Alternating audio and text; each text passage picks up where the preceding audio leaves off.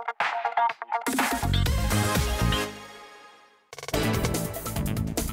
सलमान खान ने big boss के promo में खुद की तरफ़ से एक लाइन ऐड करवाई, जिससे शायद वो इशारा देना चाह रहे हैं कि वो इस बार कंट्रोवर्सी से बचना चाह रहे हैं। सलमान प्रोमो के एंड में कहते हैं होस्ट करने की है मेरी तैयारी, लेकिन किसी कंटेस्टेंट की मैं नहीं लेता ज़िम्मेदारी। ये सलमान शो के दौरान कई बार बोलते हुए नज़र आएँगे, क्योंकि इस बार आम पब्लिक इस शो में हिस्सा लेने वाली है। शायद इसीलिए सलमान कंट्रोवर्सी से दूर रहने की प्रिपरेशन कर चुके हैं। तीस खबरें फटाफट।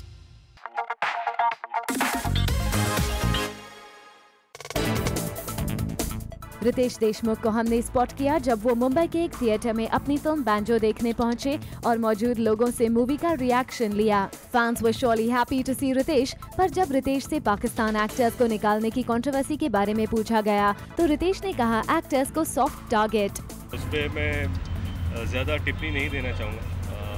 पर मुझे हमेशा ऐसा लगता है कि artist are like soft targets